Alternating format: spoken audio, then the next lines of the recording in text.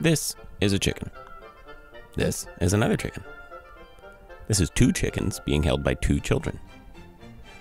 And here is another chicken. Now, this chicken is in a room.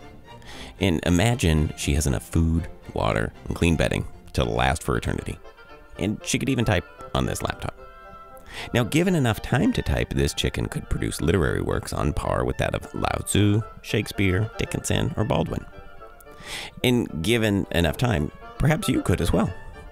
But since you don't have eternity, why not hurry up and tell your story for the Greenfield Public Schools Film Festival?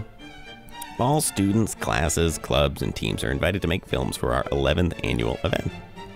We're going to have new categories this year, such as shortest story, most actors, best nonfiction, best club film, most chickens, I mean, um, and many others, including a new sustainability award sponsored by the GHS Environmental Science Club. Submissions for the event are due uh, by Friday, May 14th, and the event is going to screen on Friday, June 11th. We hope. Please reach out to either Brendan Leowolf or Andrew Lippman with any questions or needs, like cameras, editing software, other stuff. Happy filming!